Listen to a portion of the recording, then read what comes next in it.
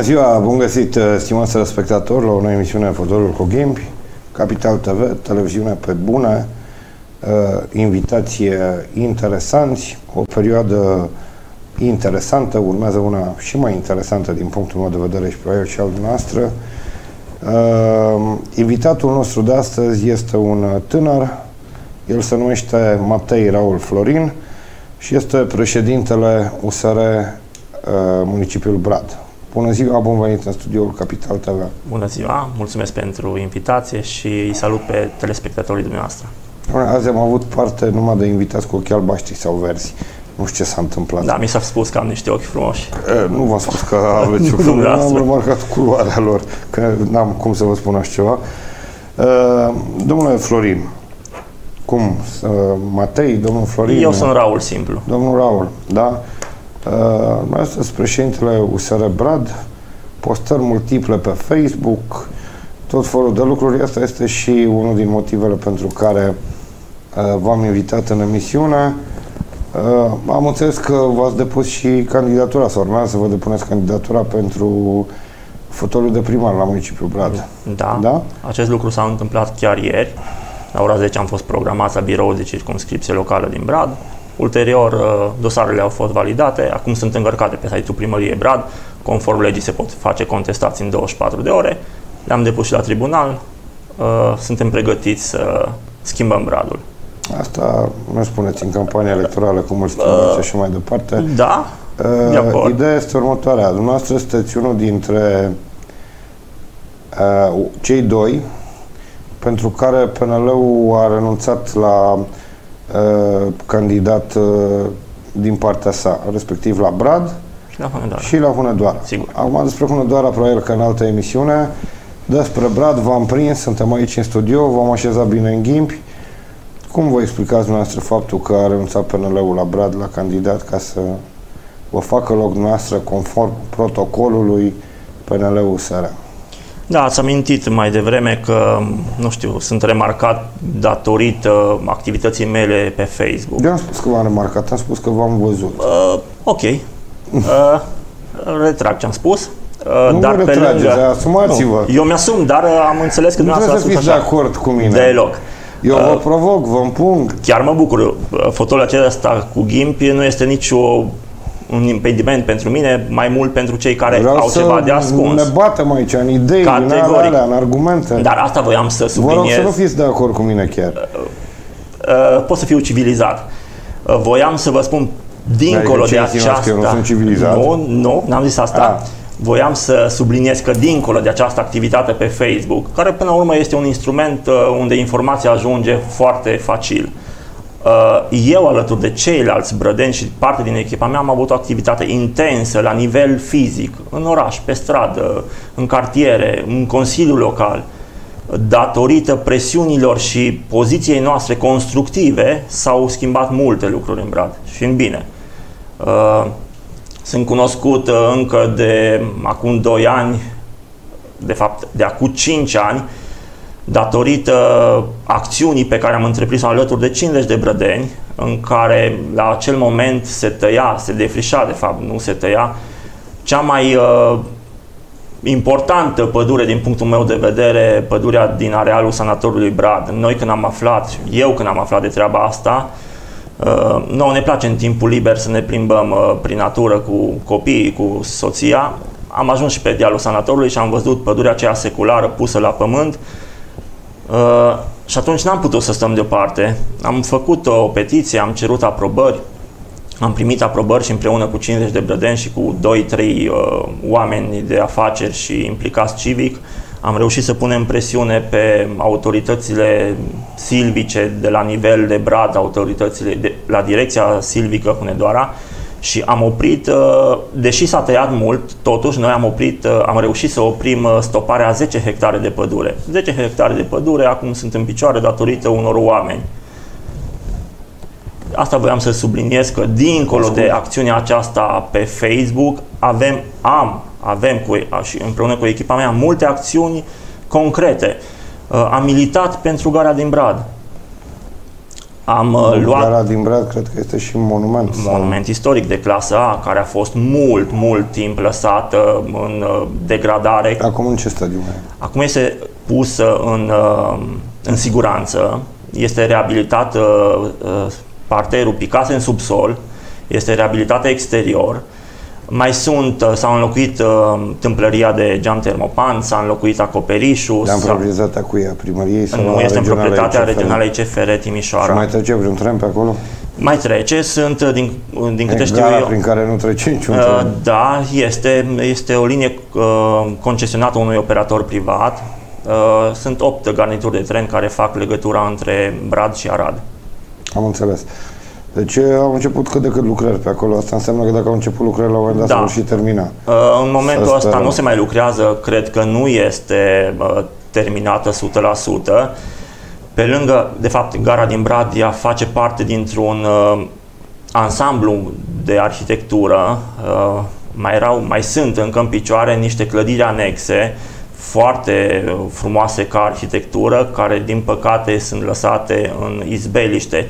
Eu am făcut niște reveniri către Ministerul Culturii, către Ministerul Transporturilor și am spus că este păcat, suntem atât de bogați ca și nație, avem tot ce ne trebuie, avem monumente naturale, monumente lăsate de înaintașii noștri și noi nu suntem în stare să le ținem în viață. Și am făcut niște petiții, este im- în imediată apropiere este o clădire anexă, tot în stilul acelei uh, arhitecturi, care este lăsată de într-o stare avansată de degradare și din punctul meu de vedere, cu cât trece timpul, nu se va mai putea salva. Am înțeles. Bun, asta am înțeles. Aveți e, acțiuni. Dar până la urmă cine sunteți noastră? Cu ce vă ocupați? Din ce trăiți? În Da, afară de politică, că mă gândesc că deocamdată nu puteți trăi din politică. Nu, nu mi-am propus să, să trăiesc din politică deloc. Și atunci? Uh, De-a dreptul, intrarea mea în politică mi-a adus și mi-aduce de servicii, dar din partea oamenilor rău intenționați, nu din partea oamenilor care nu mă apreciază. Uh, Eu am 41 de ani, sunt căsătorit, înainte. mulțumesc la fel, am doi băieți, Trebuie trăiască. Uh, am uh, terminat liceul în Brad, am dat la facultate, la Serv- Academia Națională de Informații, nu am intrat, m-am angajat imediat într-un mediu privat. Uh, traseul meu profesional a fost de jos până la director de fabrică, la una dintre cele mai mari fabrici ale timpului. Bradu avea doi uh, agenți economici la vremea respectivă când am plecat, eu cred că din 2004 din acea companie, avea doi, doi agenți economici uh, puternici. Uh, Edi Spedition, dacă ați auzit, Da. este brădeanul care a murit în accident. Da, da, da. Și mai era o companie care avea ca obiect de activitate prelucrarea materialului lemnos, IMI Relevața, era puternic și potentă financiar. Am ajuns uh, pe puterile mele proprii, nu cu recomandări sau veșnicele pile din spate, am ajuns să conduc o fabrică cu 130 de angajați. Păi uite că ați fost director la fabrică de prelucrare a lemnului și dumneavoastră militați pentru Categoric, uh, păduri netăiate. Categoric. Eu militez pentru exploatarea sănătoasă și sustenabilă a materialului lemnos, fiindcă nu putem să scoatem acest sector al economiei uh, în afara producției. Orice pădure are un ciclu de viață care a- este normal să fie exploatată, dar exploatată legal. Din păcate la noi uh, primești 10 metri cubi pe acte și mai tai 50 în spate. E, Cel 50? puțin. Zic, am vorbit din experiență. Uh, să că... Eu m-am ocupat mai mult de partea de producție, de partea de exploatare forestieră, a fost alt director acolo. Am înțeles. Da, asta vreau să spun. După ce am terminat, uh, m-am căsătorit, uh, timpul meu era foarte, foarte încărcat, eram 12 ore, 13 ore în fabrică, am zis că sunt încă tânăr, uh, la 28 de ani am plecat de la acel angajator privat, m-am căsătorit. Uh, Am venit într-un domeniu cu totul nou pentru mine, în domeniul retail. Uh, Am fost angajat pe o poziție tot de conducere de o companie puternică la acea, la acea dată. Uh, Director de, produ- director de vânzări, director de magazin, într-un magazin care se ocupa în Brad, o rețea de magazine gen Flanco, nu dau numele, Mă rog. Flanco așa, Păi ați dat deja de la Flanco, vătânile ca serie. nu la Flanco, uh, gen Flanco, am zis, nu acolo am fost angajat. Am înțeles. Uh, care avea, era o rețea națională. pentru mine a fost uh, un domeniu nou pe care l-am uh, îndrăgit și l-am uh, controlat destul de repede. Am ajuns să fiu uh, să iau premiul întâi la vânzări pe categoria de magazine pe țară.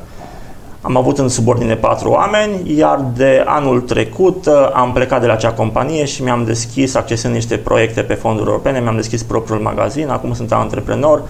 Uh, este un domeniu foarte concurențial, puternic, sunt uh, niște jucători pe piață de mult timp, dar din calculele mele și din previziunile pe care le am din piața din Brad, sunt aproape pe locul, să zicem pe locul 2 la puterea de vânzare. Din la cifra de vânzare, mă gândesc, nu. nu, din Brad. A, din Brad. Din Brad. A, am înțeles. Deci trăiesc din uh, afacerea mea. Ok, bă, asta e foarte... Nu vreau să fac din bani politică, nu vreau să iau un leu sau, nu știu, un ban. Ce religie aveți? Sunt ortodox. Am înțeles. Uh, bun, domnule Florin, și ce aveți bani, uh, trăiți din afacerea noastră, ce mai trebuie și politică? Trebuie. Și de ce la USR? Uh, da, am, am fost, uh, am stat mult să analizez rolul meu uh, în brad. Până la urmă așa ar trebui să ne gândim fiecare dintre noi. Ce putem să facem noi pentru ceilalți, nu ce ar putea ceilalți să facă pentru noi.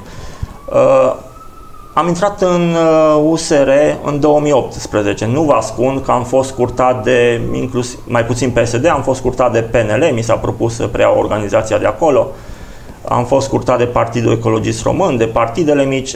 Am ales USR fiindcă m-am identificat cu colegi, oameni, membri asemenea mie. Uh, este un partid uh, născut din, uh, nu știu, din, nu neputința, din, din obli- cumva am, am intrat în politică obligat de ceea ce este până în acest moment în, în, în toate administrațiile locale din țară. Instrumentele noastre financiare, instrumentele noastre de implicare din, din postura de cetățean sunt destul de limitate, adică poți să faci ceva până la un moment dat. Dacă vrei să schimbi ceva, trebuie să intri în arenă, trebuie să te lupți cu taurul. Uh, am criticat mult, dar păi eu și zic... cine e taurul la Brad? Uh, taurul la Brad este un sistem, de fapt nu chiar să zic sistem, că noi toți facem parte din sistemul acesta, Ai conducători. sau e bou? Uh, nu vreau să intru să vă zic cu ce cred eu. Am intrat în politică din cauza tuturor partidelor de până la acel moment care au uh, fost la conducerea României și la conducerea Bradului. Pe mine mă interesează să, să schimb Bradul. Eu consider că o mișcare și sănătoasă de schimbare este din aproape în aproape. Eu îmi cresc copiii după, un, după niște norme morale ridicate. Așa, la rândul lor, vor schimba ei mai departe, luând interacțiune cu colegilor. Ca să schimbăm România, trebuie să schimbăm prima, prima dată localitatea în care suntem, în care conviețuim. Schimbarea merge din aproape, din aproape. Schimbăm noi prima și pe urmă localitatea. Da, de acord. Că degeaba vrem să schimbăm noi uh, localitatea dacă noi înșine nu suntem uh, schimbați, avem aceleași mentalități ca cu 30 de ani. Se vorbește mult. Uh, cel mai greu este să schimbi mentalitatea oamenilor. Dar asta nu înseamnă că trebuie să ne dăm bătuți. Toate au un început. La fel, pol, pasul meu spre politică. Vreau să schimb orașul. Păi cum vreți să schimbați? Doamne iartă Păi, uh, Ce vreți să-i faceți? Ce vreți? Metrou? Avion? Nu, deloc. Uh, știți ce-ți doresc cu oamenii în Brad? Glumesc cu dumneavoastră. Îmi dau seama. Știți ce-ți doresc cu oamenii în Brad? Nu vor, uh, nu știu, să construim și noi stații orbitale pe Marte sau păi, sateliți. Cum. Vor niște lucruri simple. Am interacționat cu ei. În primul rând, vor locuri de muncă. Acum asta nu le face primăria. Primăria are un rol covârșitor în atragerea locurilor de muncă. Imiți. Locuri de muncă, o infrastructură ce înseamnă asta? De utilități, canal, apă, canal, um, curent electric, curent electric, mă rog, rutieră, probabil, bineînțeles. Șosele. Sigur. Păi un primar, un primar are un rol covârșitor în atragerea unor investitori și în crearea de noi locuri de muncă. Bun, și aveți acolo, nu aveți la Brad? Nu. Cel mai mare angajator în Brad este primăria. Sunt instituțiile Da, bugetare. dacă aveți o fabrică de nu-i volane pe, acolo. nu pe OAT Brad, este pe OAT Ribița. Toți banii Aha. din uh, impozitele de salarii merg la Ribița. Deci noi nu avem niciun angajator puternic și potent în municipiu. Da, s-a indus așa în, uh, în spațiu public că Joyson uh, Safety este angajatorul Bradului. Nu este. Este un primar din Ribița care a știut să se bată, să-și aducă un investitor mare, un investitor cu peste 1000 de angajați, care contribuie fantastic la bugetul comunei Ribița. Da, pe care ăla de la Ribița îl cheltuie pe excursii la mare. Da, mă rog, asta Da, am văzut și o treabă asta se practică, din păcate, nu numai de el, uh, sub pretextul unor uh, cursuri. cursuri de perfecționare se fac concedii la mare pe banii noștri. Asta și e. concedii pe hoteluri la 4 stele, Cinci cu chiar. mese, chiar 5, da. Vedeți? De asta, și de asta am intrat în politică. Păi de ce? Ce dumneavoastră nu o să vă trimiteți funcționarii la Categoric perfecționare? nu. Sunt De un ce? om integru. Păi trimite la perfecționare, Mm, domnul. Îi trimit la perfecționare, nu în hoteluri și sub pretexte de plajă la mare sau pe la predeal. Asta este ce vre- vrem să arătăm, că românul este un om muncitor, un om cinstit, un om care nu fură. Ea, știți ce a lipsit României? Conducători patrioți. Asta îi lipsește României. Domnul Raul. Scriam zilele De trecute câte ori chiar am ieri. avut câte un conducător patriot, Ba am Da, a tăiat fost capul, trădat de, de semeni. Ba am Știu, tăiat capul, cunosc ba istoria, am da. aruncat în temniță. Vremurile s-au mai schimbat acum. Da, credeți? Da, sigur că da. Nu o să ajung să-mi taie mie nimeni capul. Ei, pot, pot să-mi însceneze fel de fel de scenarii de mai puțin uh, fantastice sau mai mult fantastice, dar nu mi este frică, sunt curat, sunt la vedere. Așa, ce nume? Bun, îmi ziceți de,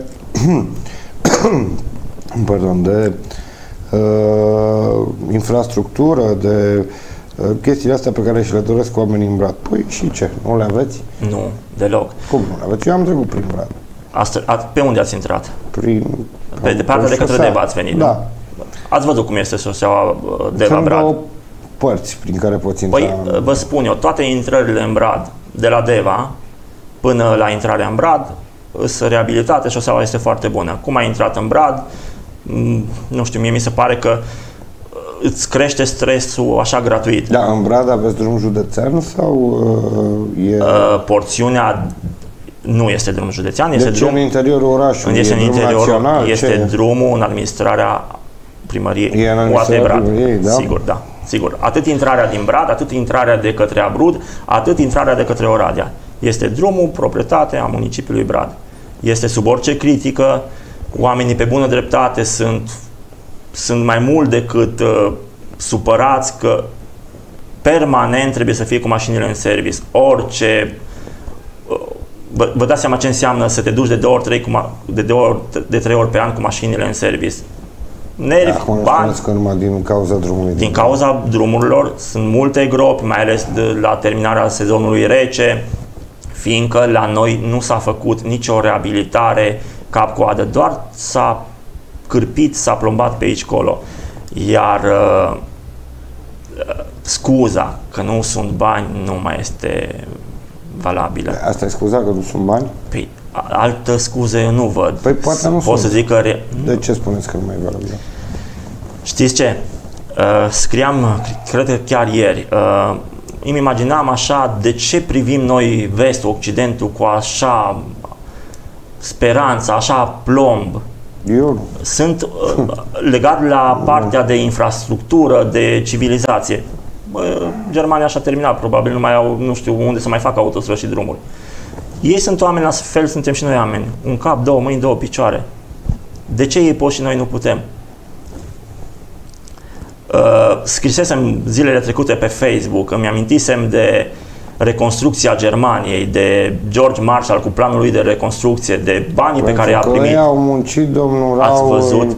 14, 15, 16 ore pe zi, unii dintre ei n-au fost plătiți.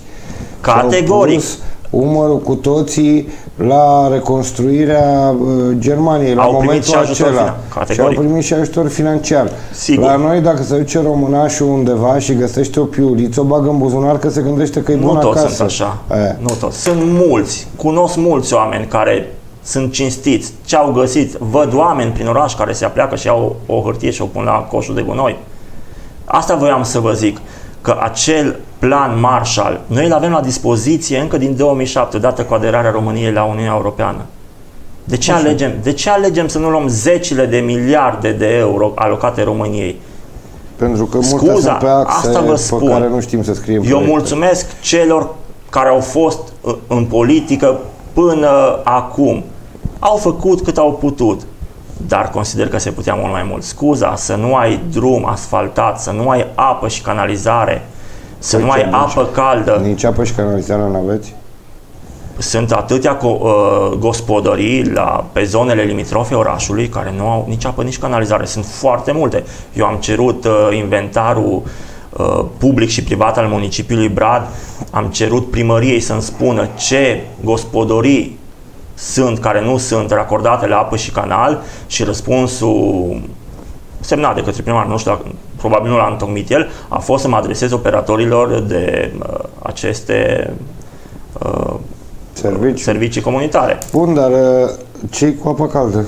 Păi noi nu avem apă caldă de z- Apă două- caldă în apă sistem caldă în sistem centralizat. centralizat, sigur că da. Păi și domnul Florin, apă că cit- suntem în 2020, mai așteptăm Haideți să să ne vă dea spun. centrala termică. Eu nu sunt de acord cu asta. Îmi pare, rău. puteți, puteți să mă combateți sau să-mi Asta spuneți. este un minim de civilizație care Păi ar da, trebui dar să fie. sunt centrale de apartament. Sunt, n-aveți gaz? Bineînțeles că nu. N-aveți gaz în Nu Brad? avem gaz în Brad, da. Păi și centrala aia cu ce merg din Brad? Păi cu curent, eu am centrală pe curent. Nu, centralele de... Noi nu avem gaz. Păi nu Fie- aveți gaz, dar lumea și-a oamenii cu ce se făcut- încălzesc în Brad? Cu lemne, vă dați seama unde am ajuns. Școlile din Brad Dar mai sunt puncte de termoficare în Brad? sunt puncte de termoficare în Și Brad. alea cu ce merg? Este o centrală făcută la vreo 5 km de Brad, pe teritoriul administrativ al comunei Crișcior, care deservește încălzirea cu agent termic pe timpul iernii al Bradului și aceasta funcționează cu păcură. Vă dați seama că traseul de 5-7 km să aduce agentul termic uh, dintr-o unitate administrativ-teritorială și până în Brad sunt pierderi pe rețea, pierderi care sunt suportate până la urmă uh, tot de noi, deși uh, este populația plătește un preț relativ uh, corect, undeva la 227 de lei gigacaloria, dar ea este subvenționată în jur de 500 de lei de către bugetul local, adică banii ăștia care ar trebui Păi bun, să știu fie că folosiți fiecare la an plânge investiții. primarul tot timpul pe la guvern că nu are bani și asta e tehnica de a aduce bani și de a uh, plăti acele subvenții, dar mi se pare așa, uh, stai un pic că banii aia vin și de la mine. Bineînțeles, asta vo- voiam să spun. Acele milioane de lei care an de an vin în subvenționarea acestei centrale, din punctul meu de vedere, păguboase, ar putea să folos- fi folosiți la investiții. E simplu. Da, dar oamenii totuși cu ce se încălzească? Păi oamenii vă spun eu cu ce se încălzesc acum. Mare parte din ei au renunțat la sistemul centralizat de, în- de încălzire. Uh, În primul rând, nu cred că a, datorită costului, deși este, a fost uh, ani în urmă, a fost uh, gigacaloria din Brad cea mai scumpă din România. Câtă de nesiguranță aceasta, m, vă dați seama, uh, sistemul centralizat de încălzire pornește la 1 noiembrie. Ori temperaturile pot să fie începând din septembrie temperaturi apropiate de zero. La fel eu. Am fost nevoit să mă debranșez de la sistemul acesta de centralizat de încălzire, să-mi pun o centrală pe curent care consumă mai mult cu toată investiția aferentă, fiindcă nu puteam să stau să mă gândesc oare primarul Bradului va primi ajutor de la guvern, fiindcă an de an se duce la guvern să ceară ajutor, se acordă vreo 6 milioane de lei din din fondul de rezervă al guvernului și nu puteam să stăm în, în incertitudinea aceasta dacă primește bani, dacă noi ne putem încălzi. Vă dați seama, copii mici, fă baie, ocupă-te de ei. Asta Am voiam înțeles. să spun. Se puteau face, se, multe se puteau face. Gândiți-vă că școlile din Brad taie pădurea Bradului și se încălzește cu ea. Dacă vă Școlile uitați, din Brad taie pădurea Bradului. sigur că da, școlile se încălzesc cu lemn. Cu lemnul din pădurea proprietate a noastră, a brădenilor. Cu lemnul, mă gândesc că au centrale, nu? Centrală de, de școală, fiecare școală are centrală și în curtea școlii sunt stive de lemn, sute de metri cub, se taie și se bagă, se aruncă pe foc.